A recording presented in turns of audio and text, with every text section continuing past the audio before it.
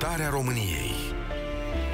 Un proiect editorial Europa FM pentru resetarea României Bun găsit! Bine ați venit la cel mai ascultat program de radio din acest moment în România. Vreme de un an am făcut o radiografie a societății noastre. Cunoașteți proiectul Europa FM.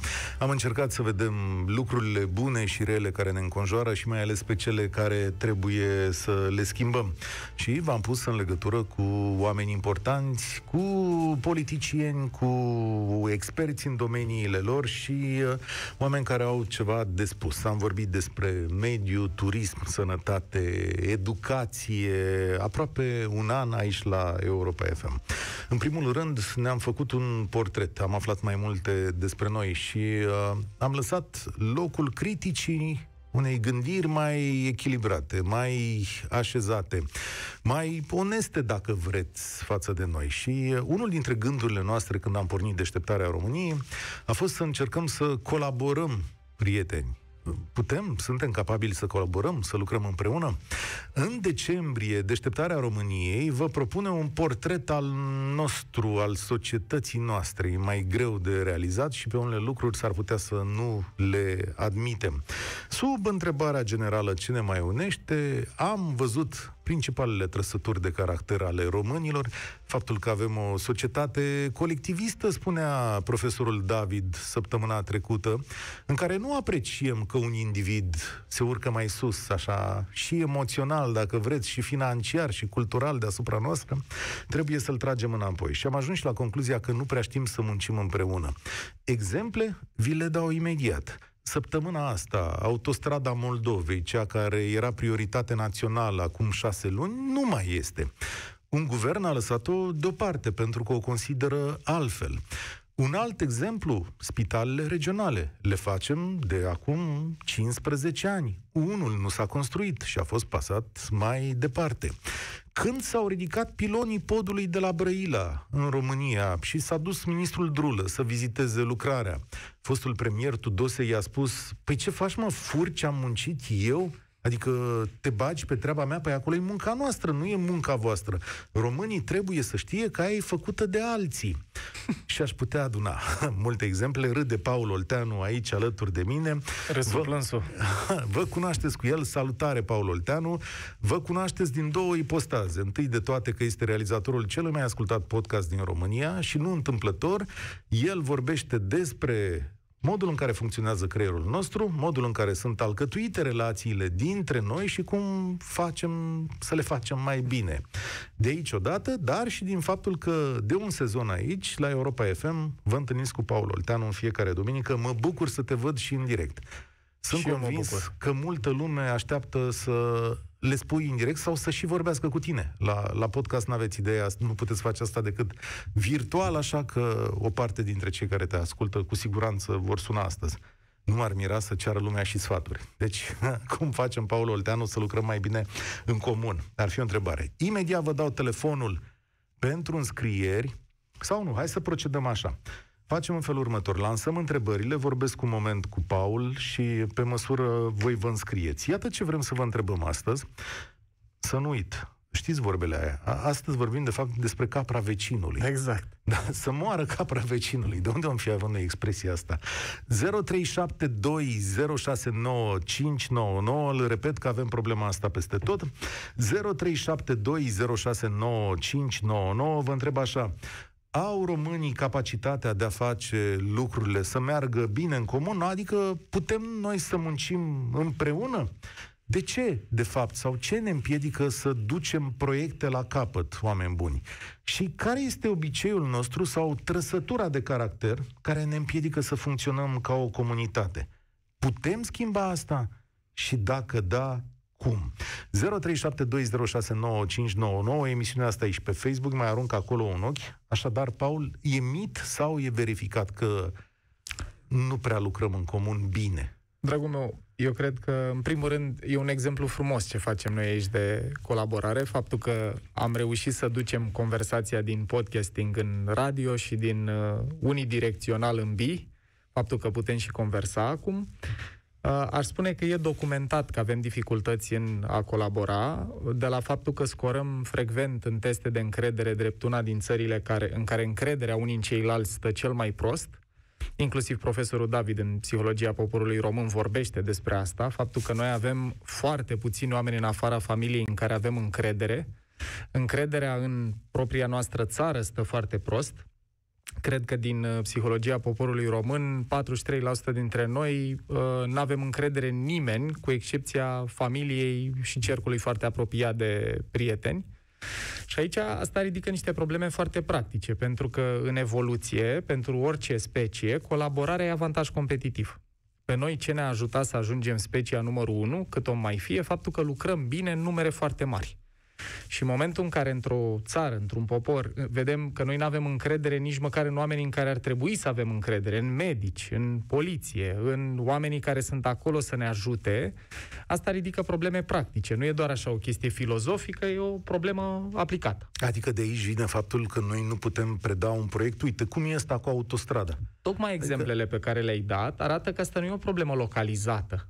E o problemă peste tot nu, se rest, nu e restrânsă la autostrăzi, la spitale, la educație. Oriunde te uiți că cineva iese în evidență și face ceva bun, apropo de iară fac apel la ce povestea și profesorul David în discuție cu tine, faptul că nu putem să celebrăm performanța individuală ah fără să simțim că e un atac la propria noastră performanță și aici iar ajungem la cât a luat colegul ăla care instalează capra vecinului, e ce am povestit noi și în podcast, ce am povestit stai, și stai, în stai, stai, stai, stai. Asta cu capra vecinului e verificată, nu? Ce, ce înseamnă aia? Să moară și capra vecinului? Adică... Înseamnă ce? o înclinație psihologică să-ți iei stimă de sine, fie să ieși pe plus, fie să ieși pe minus, fie să te simți bine Așa. cu tine, fie să te simți rău cu tine, comparându-te cu cei din jur.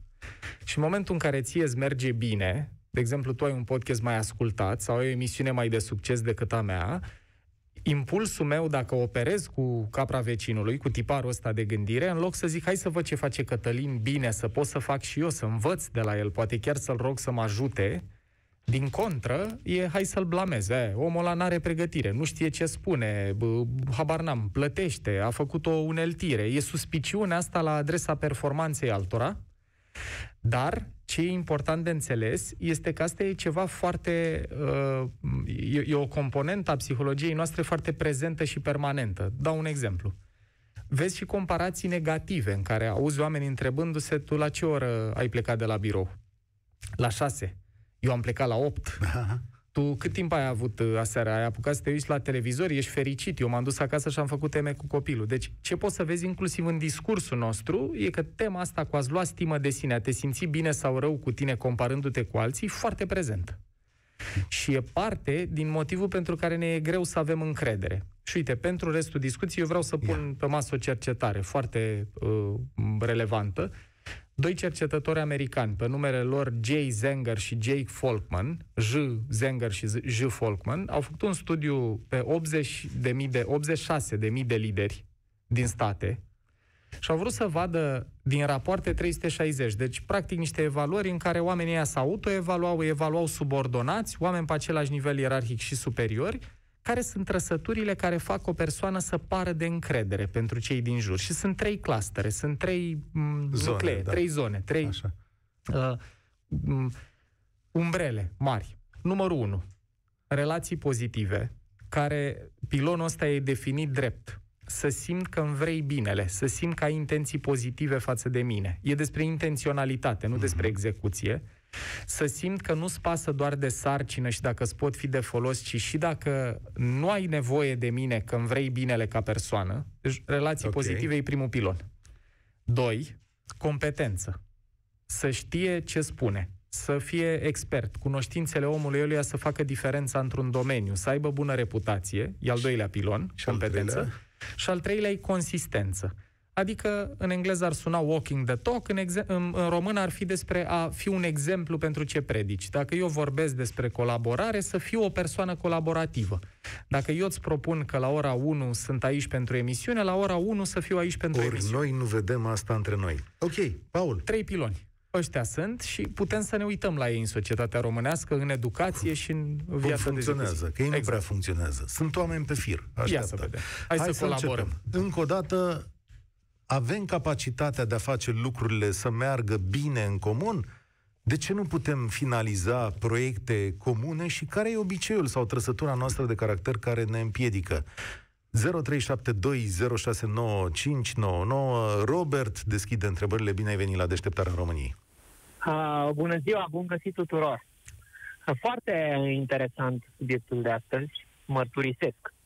Deci, uh, și într-adevăr, suita de, uh, spunem, sintagme pe care le tot folosim noi uh, denotă o bună parte din uh, matricea gândirii românești uh-huh. și uh, nu putem spune chiar că ne face cinste. Uh, în principiu ăsta, cred că o mare problemă la poporul nostru este uh, invidia. Deci, uh, în loc să ne concentrăm pe capra noastră, uh, să încercăm să o îngrășăm, ne căznim cum să-i uh, otrăvim vecinului capra. Uh, în loc să ne gândim la proiecte creative, uh, bârfim ce face stânga, ce face dreapta, ce a mai îmbrăcat uh, X și ce sta în mașină și a cumpărat Y. Dar de unde ni se trage asta? Că asta s-ar putea să fie no, și mai interesant. De unde ni se trage? Da, da, da, da. N-aș putea spune, cred că, de la mixtura asta de populație care tot a afectat nația noastră, au trecut unii, au venit alții. Au a, ah, zici că e ceva fond ăsta din străvechi. Stai un pic, stai un pic, Robert. Într-o lungă perioadă de sărăcie și de inactivitate, având în vedere că poporul român până acum vreo 100 de ani era constituit 90% din uh, țărani, care avea o perioadă lungă de a sta acasă, începând de prin uh, octombrie-noiembrie până prin uh, februarie, stăteau la gura sobei. Și dacă stăteau acasă, ce făceau? Îi bârfeau pe vecini? Bârfeau, da? bârfeau, se uitau, mai pe lângă ăsta o dușcă de vin sau de țuică, mai trăiau ceva asta da. despre vecinul Costică și ia ca așa. Sta. Cred eu că dacă e să căutăm da. o să știi că cauză, ar putea să fie acolo. Știindu-l pe Paul, eu zic că există explicații mai recente. Deci și mai permanente, într-un adică? fel, în sensul în care nimeni nu se naște având reflexul ăsta. Și dacă ne-am naște competitive, am putea ușor observa că e o trăsătură prezentă peste tot. Avem o doză de nevoie de statut. În biologia noastră și a tuturor mamiferelor, de altfel, e o preocupare pentru statut. Cum mă situez eu relativ la ceilalți membri ai grupului? Sunt două doamne care au scris o carte numită Wildhood, că una e biolog evoluționist, cealaltă e jurnalist științific și spun că nevoia asta de statut e una din patru nevoi universale. Toată lumea are nevoie de siguranță, statut, oportunități de a-și da de genere mai departe mm-hmm. și autosuficiență, libertate. Deci, statutul, faptul că pe mine mă interesează totuși să evaluez cum sunt într-o ierarhie, e în biologia noastră. Și subliniez, e în biologia noastră, nici nu are legătură cu cultura românească. Okay. Acum, în România, ce se întâmplă diferit, poate, de alte uh, culturi, este că, unul la mână, sunt generații peste generații care au crescut cu comparație, pozitivă sau negativă. Cât a luat Cătălin? Dacă da. Cătălin poate, tu de ce nu poți? Auzi, să nu spui că se trage de la... Cât ai luat uh, Paul Olteanu la teză? 9? Asta. Strible a luat 10. Și și mai frumos, dacă eram amândoi cu nota 9, e, atunci n-a fost așa măresc ce ai făcut, da, că da, au mai da, luat-o și alții. A fost ușor. Și, dragilor, aici e foarte important de înțeles un principiu pavlovian. Da? Creierul nostru învață prin repetiție și asociere, ori cu plăcere, ori cu durere. Dacă eu, după ce am parte de o comparație, trăiesc fie durere, dacă ies pe minus în comparație, fie plăcere dacă ies pe plus, ce învață structurile mele subcorticale, regiunile mai primitive din creierul nostru care învață foarte mult prin condiționare, exact ce spunea Pavlov, e că eu trebuie să anticipez durere dacă sunt pe locul 2, respectiv trebuie să mă lupt să fiu pe locul 1, că atunci am statut ridicat. Iar asta acum e ceva perpetuabil. E ceva ce, ce vedem peste tot. Robert. Robert acum, acum este ceva, chestia asta este ceva care nu prea se aplică la români eh, datorită unei perioade foarte sta eh, bizare în care se putea accede într-o poziție uh-huh ba pe pile, ba pe sta pe o apartenență la un grup, ba pe nepotul cuiva. Uh-huh. Și atunci, pentru foarte mulți a dispărut uh, această dorință de performanță uh, prin simplu, lasă bă, că pe ăla l-am împins la în sus, sau lasă bă, că a dat o șpagă și a ajuns acolo, eu n-am bani de șpagă, deci nu am uh, cum să ajung acolo. Nu-și pune problema că printr-o uh, muncă asiduă și o dorință de a fi un tip capabil profesional, chiar poate să ajungă lângă Stai. ăla invidiat. Robert. Uh, deci, chestia asta cred că împietează foarte mult asupra acelei, acelei considerații. Îți mulțumesc tare mult. Uh, înainte, Ioana, rămâne o secundă pe fir. Paul, ce face pila Eu ce aș construi noastră? frumos peste ce ne-a argumentat Robert și e un punct de vedere foarte valid, e că dacă pe de-o parte ai inclinația să-ți iei stimă de sine comparându-te, și pe de altă parte îți pierzi încrederea în performanță. Mi se pare foarte valoros ce a spus, că dacă trăiești într-un sistem care nu recompensează performanța, ci rudenia, apropierea față de cercul de putere, pentru oamenii care sunt martori ai acestui sistem, care trăiesc în el, îți pierzi încrederea în faptul că munca chiar poate să-ți aducă beneficii. Iată. Și e foarte valoros și de luat în calcul perspectiva asta. Iată o experiență la care trebuie să ținem seama. Ioana, bine ai venit la Deșteptarea României cu Paul bine Olteanu. Bine v-am regăsit. Într-adevăr, așteptam cu răbdare să intru, să vorbesc, să zic, și cu Paul Olteanu. Îl urmărim, într-adevăr, și Mulțumim. intervențiile. Mulțumim tare. Uh, dar contează foarte mult și exemplu personal, experiența personală. Antevorbitorul meu spunea despre o experiență la țară. Eu am trăit o altfel de experiență. Adică la noi la țară, iarna, se întindea război de țesut mm. și vecinele mergeau și se ajutau una pe alta. La țară se aduceau lemnele și vecinii mergeau și ajutau să le crape și să le aranjeze. Adică contează foarte mult. E, eu spun mereu că ne putem uh, ajuta de expresiile, să zic, populare pentru a găsi soluție. La țară se spune fără ai din ce ai. Contează foarte mult să ai principii, să zic, uh, solide sau uh, de valoare.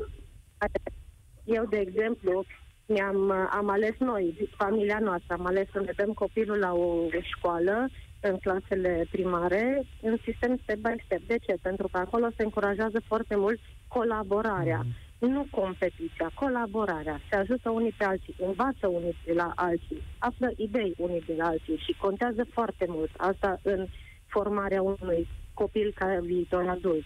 Și asta ai ales tu în detrimentul școlii publice să-ți dai copilul într-un nu, loc? E tot, e tot o școală, Ai, e tot publică. școală publică. E dar... tot școală publică, dar în ciclul primar le formează, cum se spune, e foarte important primii ani de viață, primii ani de școală, cum se formează. Adică să nu fie competiția, nici n-au avut note, adică au avut calificativ, a, parcurs cu bine materia și a trecut cu succes în anul următor, dar nu au avut calificativ să a, ăsta e mai deștept decât mine sau uh-huh. are note mai mare decât mine. Și de ce Iar, crezi că în școlile publice nu se învață colaborarea?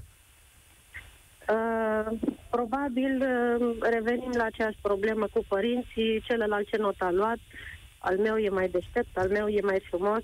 Acum dau, să zic, din casă un exemplu. Tatăl meu avea o problemă cu mine spunea, tu de ce nu ești mai bățoasă, că ești, ai mai mult, poți doveni mai mult decât cele din jurul tău. Și am zis, dar ok, am primit niște daruri de la divinitate, de la Dumnezeu. Asta, să zic, e, poate să fie o calitate că, să zic, beneficiezi sau profiți de acele daruri, să le maximizezi efectul, dar nu, nu trebuie să mă dau rotundă, mm-hmm. să zic așa, să, așa dar... că Constatarea ta e că părinții te-au pus în concurență cu ceilalți copii, cu colegii din clasă tot timpul? Adică asta era cererea lor?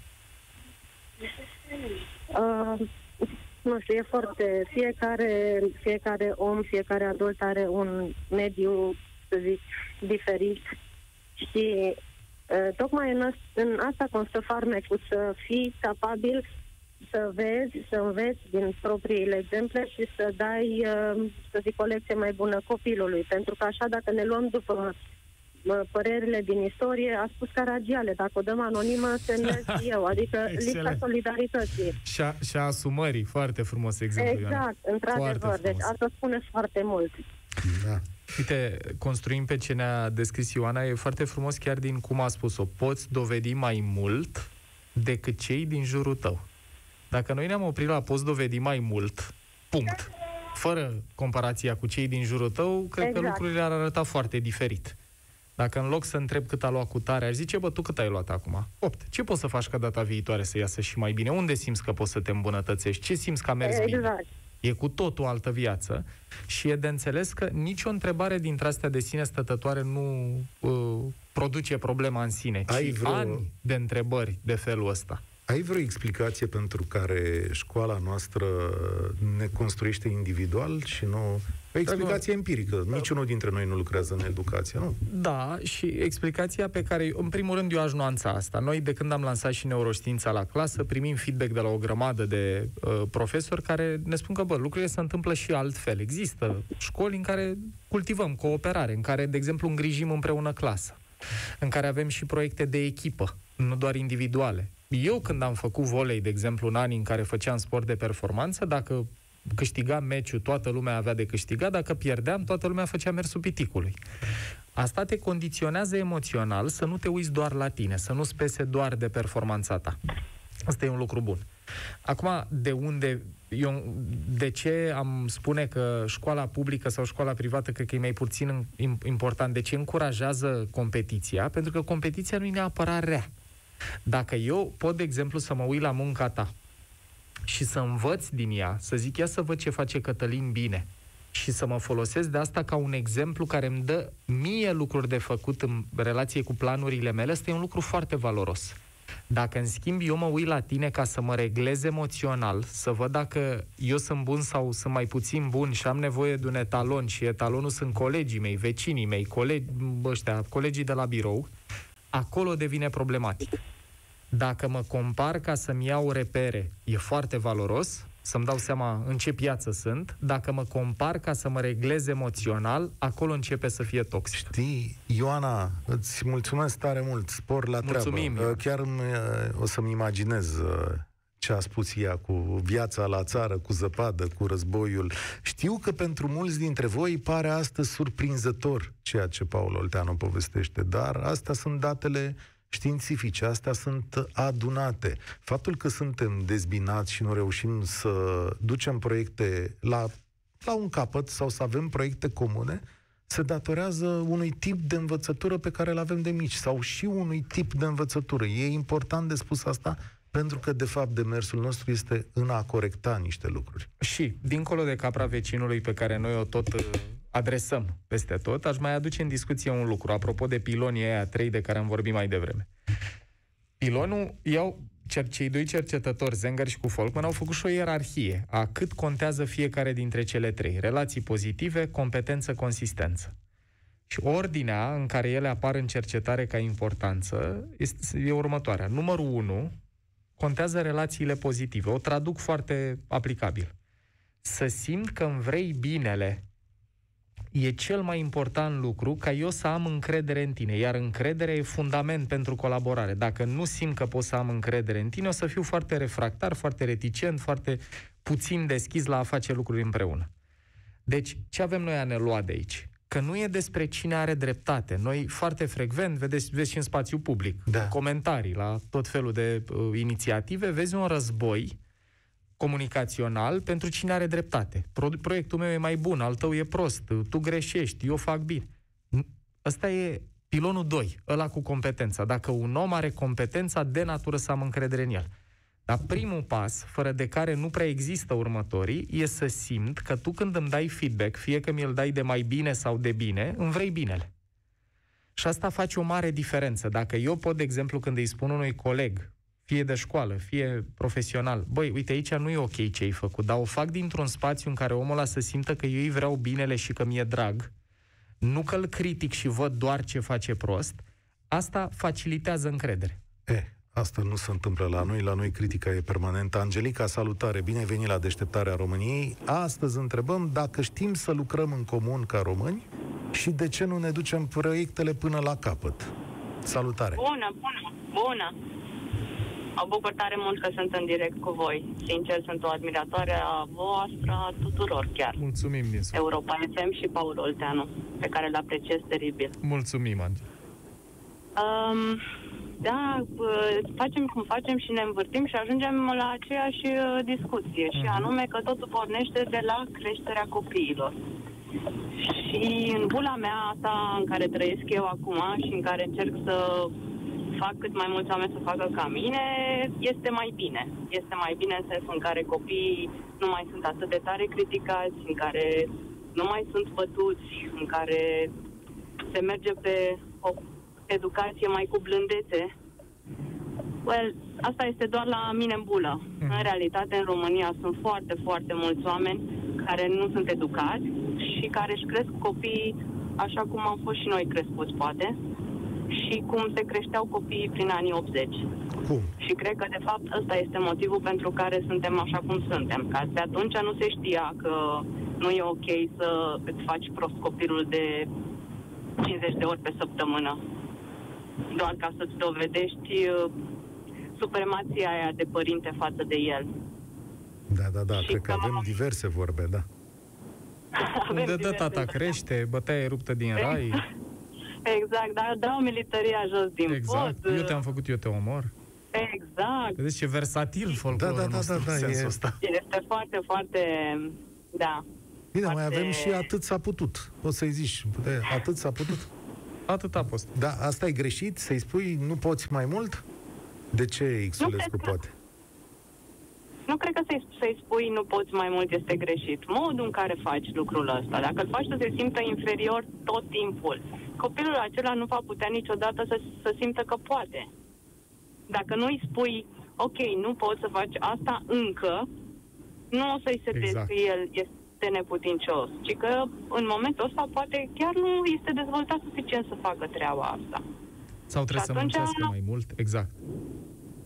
îi setezi ca pe, într-un viitor, îl setezi ca el să creadă că va putea face. Poate chiar nu o să poată face niciodată o anumită treabă. Că unii sunt înătători foarte buni, alții sunt IT-ști foarte buni, fiecare e dezvoltat într-o anumită direcție. Spunem cum Și nu faci, trebuie să facă nici- spunem cum faci ca, știu, fiul tău, fica ta, să poată lucra în comun cu alți copii? Sau dacă ai cerut vreodată asta școlii la care ei merg? Uh, copilul meu este încă la grădiniță și eu uh, periodic vorbesc cu direct... Am, este la o grădiniță privată. Și directoarea la grădiniței la care este copilul meu este o doamnă absolut excepțională, care este deschisă către a educa pe copii cu empatie, cu blândețe, cu te rog și nu cu așa trebuie, așa am zis eu. Și mi se întâmplă de mai multe ori să dau peste articole, inclusiv pe uh, podcastul lui Paul Olteanu, l-am mm, forwardat în ideea în care ar putea să asculte și să învățăm chestii, cum ar trebui să ne comportăm. Pentru că îmi dau seama și eu că am foarte, foarte mult de învățat în direcția asta, deși m-am preocupat să citesc cât mai mult. Am făcut 10 ani de terapie ca să scap Excelent. de Felicitări. Felicitări. de sunt proastă și nu, nu, nu pleacă. Chiar după 10 ani de terapie, ești conștient că nu ești prost, ca și om, și cu toate asta este teribil de greu să înlături ca primul gând ăsta. Primul gând ăsta este. Sunt proastă și nu voi putea să mă descurc. Și după 10 ani de terapie, al doilea gând este, dar stai așa, că de fapt nu sunt proastă, sunt ok, sunt chiar, uite, am o grămadă de oameni care mă apreciază, oameni pe care eu îi apreciez la rândul meu și consider foarte deștepți, ceea Dar- ce înseamnă că undeva acolo există. Dar Despre un politician din România, ai putea să gândești vreodată că nu e prost, ticălos sau incompetent? Mai ales dacă e dintr-un partid care nu-ți place? uh, eu sunt uh, foarte apolitică de felul meu. Nu, nu, nu. Mai mult de atât. Hai că cu Mai toții mult ne de- uităm la spațiu public. Nu te eschiva, zi Așa cinstit. este. Domnule, ne Mai uităm mult și de unii atât, ne plac, alții eu nu ne sunt plac. fo- Eu sunt foarte credulă. Am o naivitate de copil păstrată cumva, nu știu cum am reușit să o păstrez. Și nu cred foarte multe lucruri rele care se întâmplă. Și da, cred că aș putea crede că un om nu este rău. Aș putea crede că există oameni care încă mai vor să facă bine, Aha. poate că nu au aceeași viziune ca și mine, Dar? dar, dar cred că există oameni care pot să facă bine, inclusiv în, poli- în, în uh, zona politică pe care o avem noi acum. Da. Dar, uh, Dar, sunt aici- foarte... Problema este că majoritatea politicienilor au trăit și ei vremurile alea cu uh, ești prost, uh, militaria... Da, toți uite, am suntem produsul aceluiași tip de educație sau mare același tip Da. de educație. Stai aici, Absolut. și- stai aici un pic cu noi, Angelica. Deci, Paul, Pe- poți să privești la cineva din sfera politică ăștia Mhm. pe care îi criticăm, că așa și început emisiunea. Cu acest tip de educație poți să accepti că au și lucruri bune? Cătălin, e indispensabil să facem asta, pentru că indiferent Da. cine ești, dacă te duci acolo și tot ce auzi de dimineața până seara e ce faci prost, în creier, asta da. te lasă fără motivație la propriu. Când auzim lucruri de bine despre performanța noastră, fie că au fost tentative, fie că au fost mici reușite într-o mare de eșec, când auzi și de bine, și subliniez cuvântul, și de bine, nu doar de bine, se eliberează dopamină, se activează rețeaua de recompensă adică care îți dă motivația să mergi înainte. Tu îmi spui, a, această emisiune aici, în restul da. timpului, la România în direct, se ocupă cu critica acerbă. Asta face. Tu spui că din când în când trebuie să-i mai spun un politician, ați făcut și un lucru da. bun? Dar nu, unui, nu, nu contează dacă e politician unui sau ce, lider, unui om. Unui om. Dacă auzim exclusiv ce facem prost, la nivel neurochimic, nu ai climatul neurochimic necesar să ai motivația să continui să faci lucruri grele. Și pentru mine, din unghiul în care privesc, e cumva explicabil de ce oamenii se duc, unii dintre ei cu bune intenții acolo și eu chiar cunosc persoane care s-au dus acolo renunțând la salarii mai mari, la condiții de viață mai bune și îmi spun la un an, doi sau trei de când sunt fie în Parlament, fie în aparatul executiv, băi, simt că sunt epuizat. Este cel mai greu lucru pe care l-am făcut în viața mea iar aici vorbim de niște oameni care înainte au strâns fonduri pentru ONG-uri, au, au condus companii, deci nu sunt persoane care au avut o viață da, relaxată. Exact. Și încerc ca om să mă pun în pielea cuiva care să străduiește să facă ce poate, cât poate de bine. Vorbesc despre categoria politicienilor care au și bune intenții, nu Sigur, doar da. Vezi că întotdeauna aici presiunea socială trebuie să-ți iei un, uh, o rezervă, nu? Da, că simt nu, asta. Da. Nu, nu doar asta, că sunt, băi, sunt și de aia și de aia, indiscutabil. Da. Adică sunt oameni care probabil dacă ar merge la un control psihiatric ar fi diagnosticabil clinic cu una sau cu alta. Pe de altă parte, sunt convins că nu sunt toți așa. Cunosc la primă mână da. oameni da. care s-au dus cu bune intenții acolo și într-o mare de lipsă de apreciere, care vine tot din faptul că suntem foarte obișnuiți să vedem tot ce merge prost, la noi și la alții, apropo și de ce ne descrie da. Angelica ca voce interioară. Dacă primul meu gând e că sunt greșit, că e ceva în neregulă ori cu mine, ori cu ălălalt, e un teren foarte lipsit de fertilitate pentru motivație și mai ales pentru colaborare, pentru că toate cercetările, și organizaționale, și pe trupe speciale, și în sport, arată că dacă nu ne simțim în siguranță unii cu ceilalți, deci dacă eu nu te văd drept un om care îmi vrea binele, probabilitatea să am încredere în tine și să fiu disponibil la a coopera e zero. Da. Angelica, Mulțumim da. tare mult și uh, drum bun. Mulțumim pentru pe... poveste, pentru da. împărtășire și da. felicitări pentru munca da, cu sine. e și foarte greu să recunoști chestia asta din tine și după ani de zile să spui, domnule, dar de ce crede despre mine că nu sunt capabil să fac treaba aia?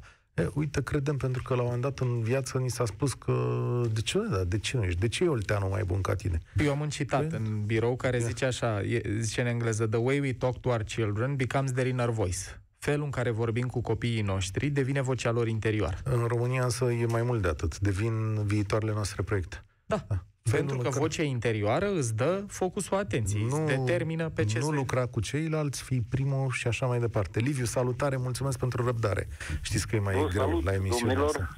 Bună ziua, Liviu. Salut amândoi, am mai încercat să intru. Da, azi ai reușit, e și o chestiune de noroc, da. Corect. Uh, ideea e în felul următor. Uh, pot vorbi dintr-un anumit punct de vedere, mai ales că nu am fost în ultimii 20 de ani în România și yeah. pot să fac o radiografie în prisma a ceea ce am găsit venind înapoi. Ia să vedem. Da. Um, în pilonia aia pe care domnul Teanu bine îi arăta, aș pune prima oară competența. Mm-hmm. Și vă spun de ce. Societățile astea capitaliste, am stat în trei țări și vă pot face un fel de radiografie a ceea ce există acolo în sensul bun al cuvântului. Au fost construite într-o perioadă mult mai lungă decât ceea ce am realizat noi în ăștia 30 de ani. Ori noi în ăștia 30 de ani am luat multe lucruri bune, dar și foarte multe lucruri rele. Plecând de la premiza asta, vă pot spune că, în primul și în primul rând, că Italia, că Germania, că Anglia, că Suedia, competența pe primul loc. Și atunci, dacă competența e pe primul loc și restul vin după, Asta e ceea ce lipsește, ceea ce văd eu că lipsește în România. Marea majoritate, și acum mă refer și la clasa politică, vedeți, și în Germania și în Anglia există școli ca să poți să devii lider. Și școala aia nu numai că te face competent, te ajută să știi cum să conduci. Eu nu zic că ai noștri nu fi având unii dintre ei școli. Dar dacă ne uităm la ceea ce s-a întâmplat în ultimii ani, vom vedea că au furat inclusiv ideea de școală. Da, Prin avem plagiate și zilele astea, da. Nu toată lumea, nu toată Nu lumea, toată dar cei lumea, care au unii făcut dintre- treaba asta și au ajuns, da, au ajuns lideri și atunci ăla nu mai e un lider care poți să ai încredere în el. Asta ar fi una din direcții. Și atunci, Hai, ca stai să un pic. câștigi încredere. Stai da. un pic. Liviu, hai să dăm exemplul de astăzi și aici poate și tu ne spui și ne explică și Paul. Avem un ministru care este acuzat de plagiat cu subiect și predicat, auzit. înțelegi? Cu documente Da. dovedite, cu tot copiat. Ce se întâmplă în mintea ta când vezi că acuzațiile sunt precise și pot fi dovedite cu ușurință și măsurile normale într-o societate lipsesc cu desăvârșire? Ce, Păi, zici, ce zici tu? Clanul ăsta politic cum e? Uitați-vă pe ce s-a întâmplat în toți anii ăștia. Se acoperă unul pe alții. Și nu Ok. discută când apar chestii de genul ăsta. Dacă și Ponta a avut un plagiat Ok. în doctoratul lui și și alții, atunci Bun. cum poate să fie? Vedeți că afară așa ceva nu-i permis. Bun, Sub nicio formă. stai un Pentru pic. că în momentul, hai să vă spun și de ce. Mă scuzați o Da. secundă și vă explic. În momentul în care tu, de exemplu, eu am făcut o facultate în Londra, London Business of School, și acolo, în momentul în care îți pui lucrarea, da, tu trebuie să faci o lucrare. Whatever, ce-o fi. Mhm. Ideea e că tu, primul lucru care ei ți-l fac, îți verifică plagiatura. Să nu plagiezi pe nimeni. Înțelegeți? Ceea ce aici nu știu dacă e sau nu e, sau poate o fi acum, dar poate când ei au făcut nu era. Pe Sunteți de 2012, acord nu cu știu. mine? Da, eu sunt de acord, dar acum vreau să-l întreb pe Paul, stai o secundă cu noi. Da. Vreau să-l întreb pe Paul așa. Ce se întâmplă într-o societate când vede un astfel de act, dar nu vede răspunsul firesc? Păi, tocmai asta e și construiesc pe ce ne-a ridicat Liviu la fileu și anume dacă ne uităm la pilonul competență, în momentul în care eu văd că poți să ajungi în funcții foarte înalte în stat, poate între cele mai înalte, fără Furând. să probezi Furând, exact. Da. E o sinteză bună. Iar eu, la toată bucata asta și având prieteni cu uh, doctorate și fiind aproape de cum se întâmplă lucrul ăsta în, uh, în mediul academic, înțeleg că E nevoie de o doză de gândire critică, dar în cazuri dovedite, apropo de ce descrii Cătălin cu documente, aici tocmai asta e problema. Dacă eu, popor, m- minte da. colectivă, inteligență colectivă, mă uit la genul ăsta de situații în care văd că unul dintre oamenii cu putere, care mie îmi influențează viața în fiecare zi, nu numai că a furat, dar după ce am descoperit că a furat și am făcut public lucrul ăsta, nu demisionează, eu aici aș construi pe argumentele lui Liviu. În alte țări, când ești suspectat Primul de așa lucru. ceva, te retragi. E, da. Nu când e dovedit E, da. că ai făcut E, da. asta, iar asta are o valoare puternică pentru sănătatea psihică și încrederea poporului în aparatul respectiv. Noi Absolut. suntem în țara în care poți să devii primar fiind în pușcărie. Corect. Corect. Asta e cel mai relevant Da, exemplu. haideți să mergem mai departe pe ceea ce spuneți și gândiți în felul următor, dacă îmi permiteți. Haideți să facem o reformă reală a învățământului, plecând de la premisa că cea mai bună universitate din România are locul 600 în lume. Haideți să facem un proiect de țară, Stai. dar nu de povești, pentru că... Stai, eu din Liviu, ceea că ce am aici văzut la eu- acest argument o să mă certe Daniel David, că el a venit și a răsturnat situația săptămâna trecută și a zis așa, mă certați că avem o singură universitate, adică cea din Cluj, Cea din în Cluj. primele Da, corect. o mie din, lo- din lume. Locul Nu știu, 664, da. Dumneavoastră știți că sunt 30.000 de universități în lume și noi suntem în primele 1000? A răsturnat acest lucru Daniel David și a zis, nu ne criticați pentru asta. Arătați-ne că, de fapt, asta s-ar putea să fie o performanță. Apropo de ce vorbeam Da. mai devreme, În știi, cu modul în dacă care- alegi Da, să da, te da, uiți- sunt de acord, dar haideți altfel să facem. Eu mă refer nu la învățământul în ideea în care dumneavoastră vă uitați la vârs. Eu mă uit la o reală pă, reformă a învățământului românesc pentru că viitorul nu ne aparține nouă generației care acum stăm de vorbă și care dezbatem. Viitorul este al copiilor copiilor noștri. Haideți să facem ceva pentru România, ca adevărați patrioți, în care copiii noștri nu să fie mai deștepți sau mai presus. Copiii noștri să poată să meargă mai bine. Haideți să facem o țară în care să ne placă că e frumoasă, să ne placă să venim sau să atragem pe alții și să putem exploata din Asta- punct de vedere capitalist ceea ce are bun țara noastră. Turismul, locurile, oamenii, bunătatea. Domnule, știți că am făcut o emisiune lucruri la apropo care, de din care turism noi aici? putem câștiga. Fii atent, am făcut o emisiune apropo de turism în care foarte puțină lume a lăudat turismul din România. Zici că, deși Eu foarte mulți dintre noi Eu mergem... Eu după 20 de ani și vă zic că e foarte... E o schimbare radicală ce am văzut aici. În bine. Laud. În bine, așa da. Liviu, o curiozitate. Ce te-a făcut să revii? Sincer, da. nu vreau să râdeți. În Anglia ești acum la pensie la 70 de ani. E bun, e bun, e bun exemplu. O să discutăm. Și mulțumim. Nu, e real, da. e real. Pot ieși la anul la pensie sau peste 2 ani. De ce să stau încă 15 ani în Anglia? Asta e un motiv. Și al doilea motiv, puteți să credeți că după atâția ani mi s-a luat? Mm-hmm. Nu-ți mai trebuie nimic. Am familie, am copii, am prieteni, am, am început să pierd. Da. Vreau să fiu, cum să spun eu, nu-ți mai trebuie. Am văzut jumătate de lume, am făcut, am ce să mai, banii? Ajung la o vârstă la care banii nu îți mai înseamnă așa de mult. Liviu, îți mulțumesc, trebuie să mergem mai departe, dar atenție, uh, ați văzut, alții prețuiesc competența și verticalitatea în funcțiile de lideri. Da, de acolo începe toată treaba. Valentin, mulțumesc pentru răbdare. Domnule, putem lucra în comun sau... Cred că putem, nu? Dar nu la fel de bine ca alții. Da, dar uh, cred că partea cu capra vecinului doar o consecință. O consecință? Da, nu este...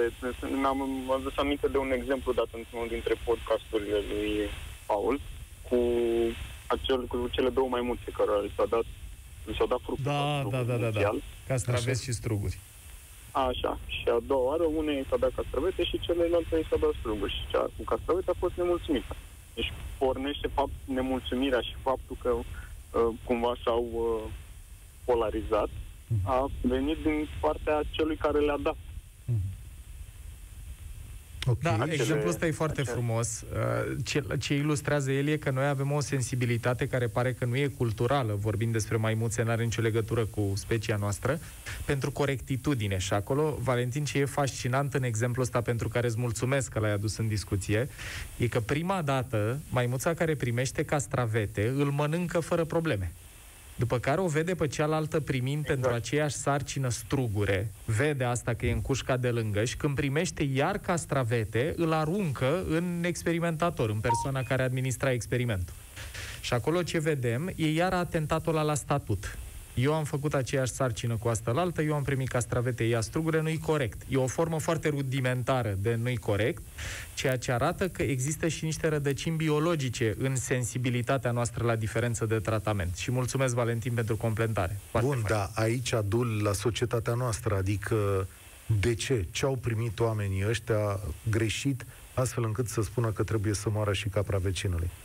Nu, totul se rezumă la circumstanțele în care ne aflăm, circumstanțele create de toate autoritățile, guvernele, partidele care s-au perindat de la guvernare.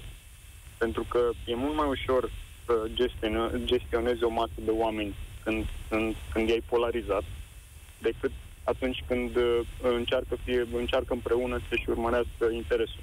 Deci tu zici că polarizarea și da, atomizarea da. societății da, românești da.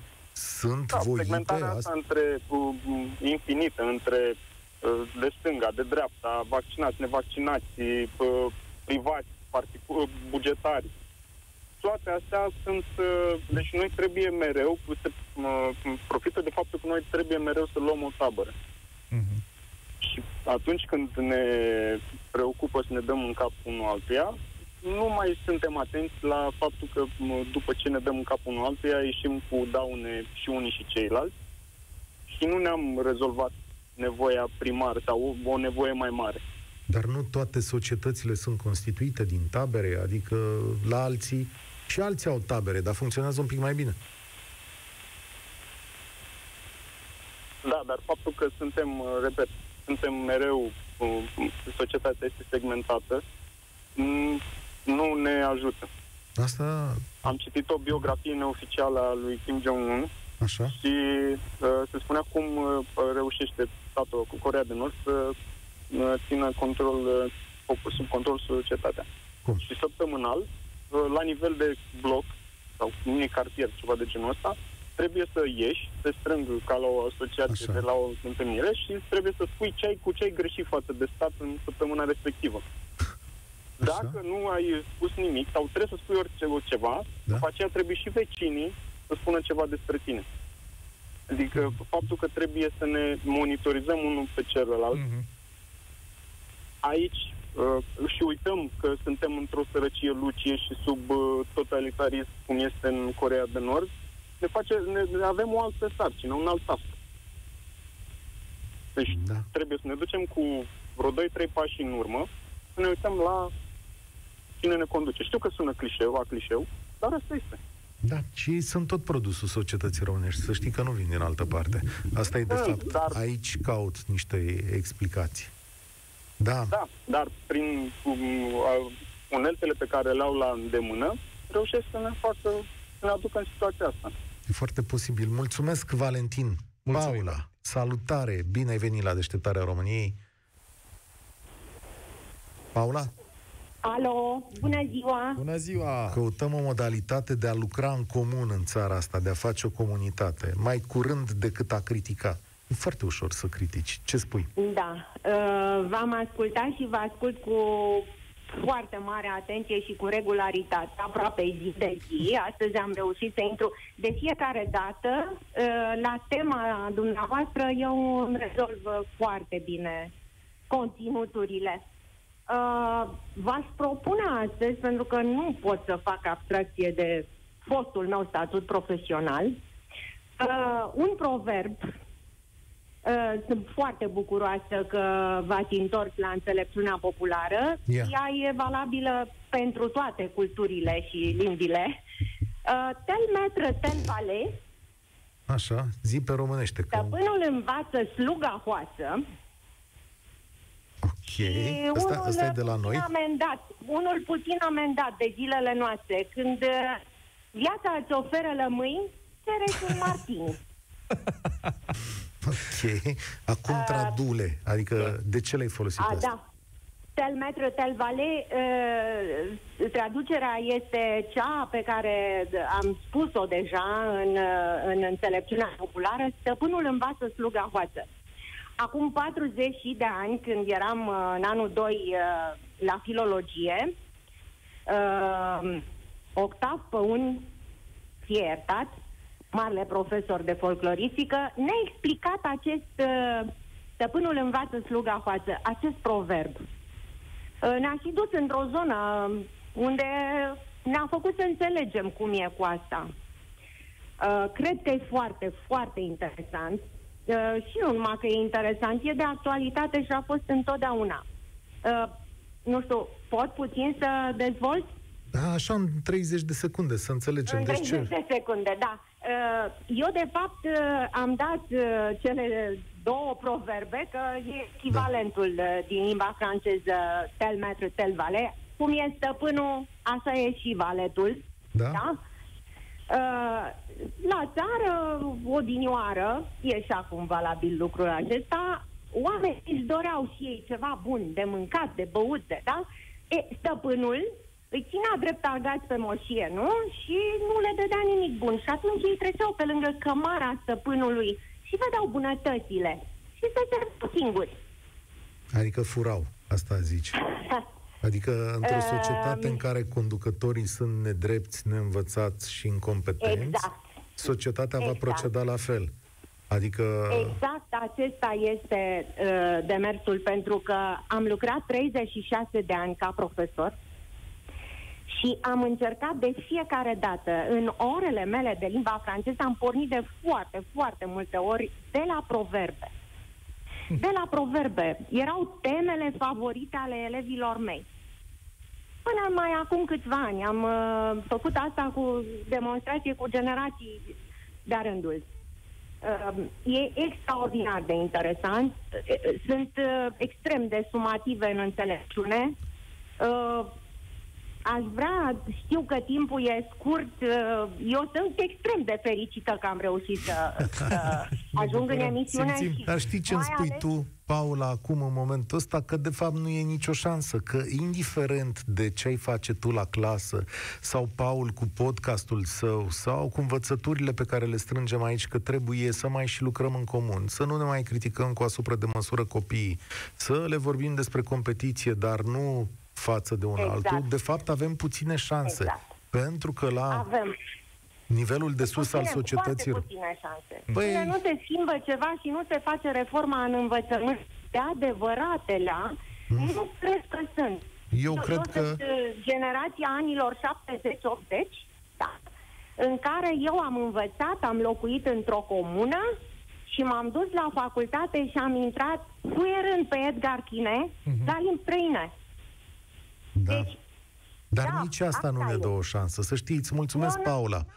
Uh, de fapt, din discursul ei îmi dau seama că totul este la vârf. Sau cel puțin... Eu cu asta am o problemă personală. Eu rezonez Da. cu atât cu ce a spus Valentin și acolo aș vrea să aduc o completare, dat fiindcă a venit momentul. E o carte scrisă de Robert Sapolsky, care e neurocercetător la Stanford. Omul a câștigat și un MacArthur Genius Grant, deci o somitate în domeniul ăsta și el vorbește în Behave, în cartea pe care am numit-o acum, despre înclinația asta uh, in-group, out-group, adică ești de al meu sau ești de afară, cumva. Uh-huh. Și aici vreau să leg două idei care poate ne ajută să înțelegem și de ce îi vedem de multe ori pe ai noștri ca fiind de afară.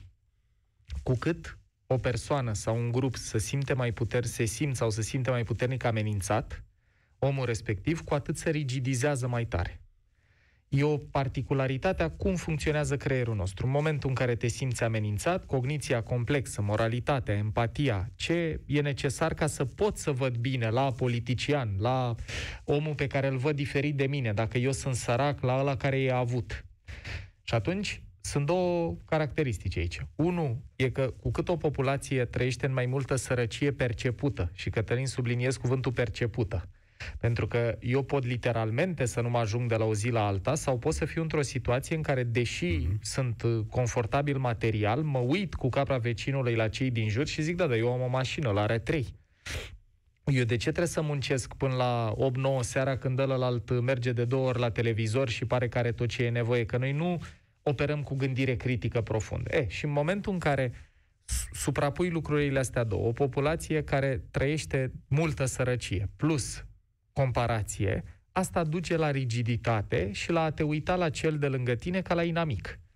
Dacă te uiți și istoric, în momentul în care țările au avut inamic comun, vezi pandemie, vezi războaie mondiale, în momentul ăla vezi și mai multă colaborare sau înțelegere. E un caz chiar celebru uh, cu soldați aliați și soldați nemți care de Crăciun au jucat fotbal împreună. Da.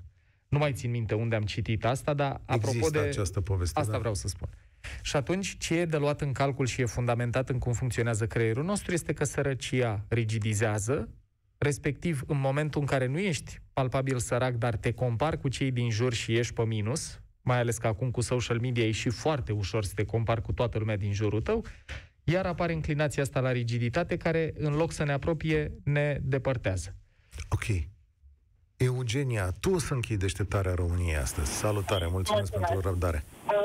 Bine v-am găsit, uh, domnule Paul, bine v-am găsit, uh, domnule Cătălin. Uh, Ceea ce ziua. spuneați înainte s-a petrecut în primul război mondial, Așa. înainte de Crăciun, între nemți și englezi.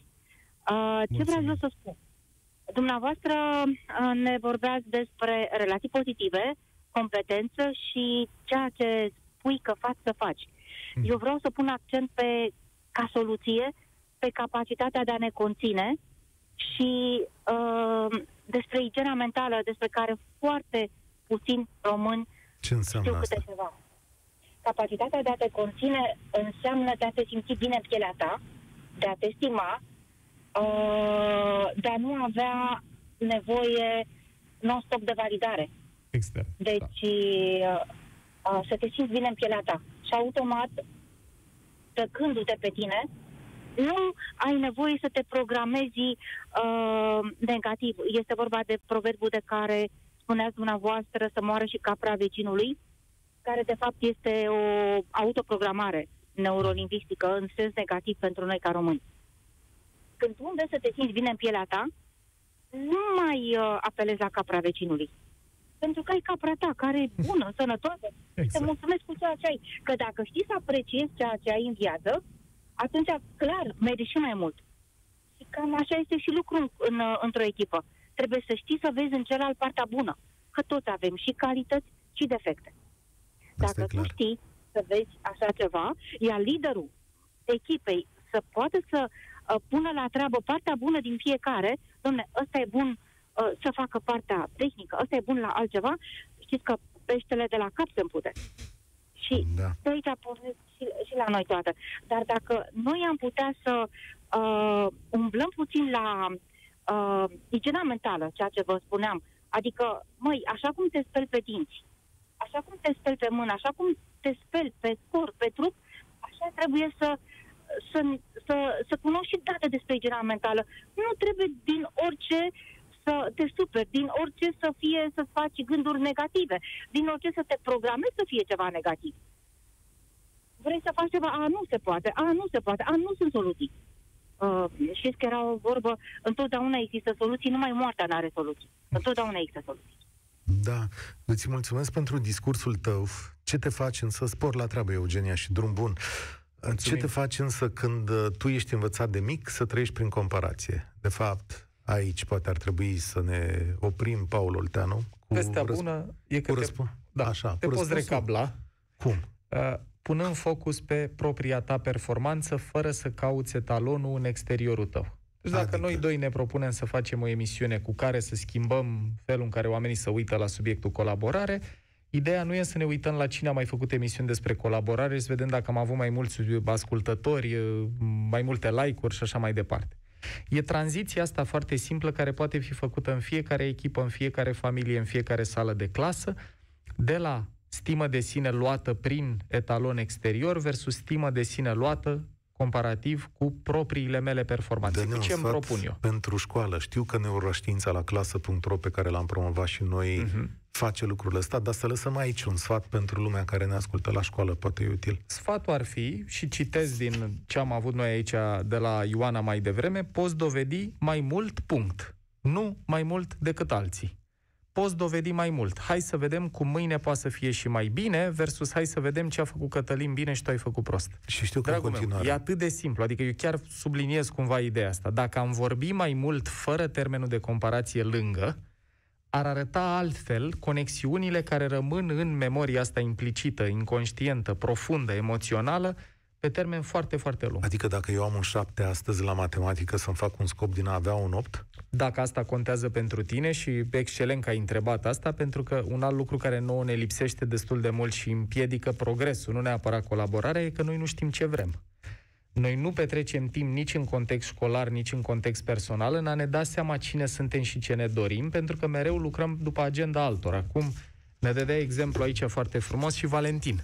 Apropo de a trăi într-un sistem care îți dă mereu teme, îți dă mereu ceva de făcut, de natură să nu mai ai timp, respectiv energie mentală, să te gândești și ce vrei tu. Deci lipsa asta a comparațiilor. Focus pe performanță e grozav, dar nu comparativ. Plus cunoaștere de sine, să înțeleg ce îmi doresc eu, Paul, să obțin, ce îți dorești tu, Cătălin, să obții, ce își dorește fiecare ascultător, ce e important pentru mine, care e bucata la care eu vreau să contribui. Cred că dacă ne uităm fiecare la bucata unde noi putem aduce valoare și ne aliem cu alți oameni care cred în aceeași bucată, eu sunt mai optimist decât uh, eram în discuția anterioară în care spuneam, băi, capul ăsta, și peștele de la cap să îmi, pute... Îmi promiți că dacă facem lucrurile astea la școală, când o să fim mari, o să putem lucra împreună? Terminăm autostrăzi, facem spital? Eu ce pot să-ți promit este vezi, iată și colaborarea noastră, faptul că noi am avut o viziune comună, chiar și în conversația dintre noi. Am început de la un interviu, un podcast, după care am avut colaborarea din fiecare duminică, după care avem discuții. Asta îți arată că se poate. Deci, în orice domeniu ne-am uitat, dacă ne putem reorienta după pilonii ăștia trei. Relații pozitive. Primul lucru ca să putem colabora e să simțim că ălălalt nu ne vrea rău. Deci, ce pot eu face, e, chiar dacă am să-ți spun că m-a deranjat ceva la ce ai făcut, că e imperfect, că poate fi făcut mai bine, să o fac dintr-un spațiu în care nu te ameninț, nu te ajut să, să mă vezi drept dinamic. Doi, competență, și asta e indiscutabil în toate cercetările despre încredere, competența contează și exemplele astea în care poți să ajungi în cele mai înalte funcții publice, plagind, furând, fiind chiar arestat, sunt un, un uh, cum să zic, cancer pentru încredere în instituții și în, în aparatul de stat.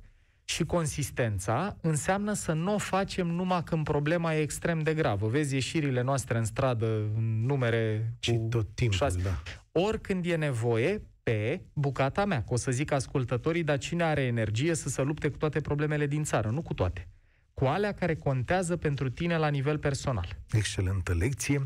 Cu Paul Olteanu, oameni buni, ne întâlnim și duminică, când avem scurtul nostru interviu la Mind Architect. O să râdeți de data asta vorbim despre adicții și mâncare și o chestie cu totul uh, diferită față de cea de astăzi și uh, pentru că ne-ați întrebat, da, o să ne vedem și anul viitor în aceleași uh, condiții. Deocamdată punem punct aici. Deșteptarea României săptămâna viitoare va vorbi de bine, oameni buni. Adică, ce puteți spune de bine, domnule, despre români și care e cea Excelentă mai temă. Care e cea mai mare putere a poporului Asta, român? O să fie, o să fie ceva istoric în, în peisajul nostru să ne uităm și la ce e bun la noi, nu doar la ce ar putea fi mai bun. lucruri bune. Paul Olteanu, Cătălin Striblea, ne oprim aici. Spor la treabă. Deșteptarea României un proiect editorial Europa FM pentru resetarea României.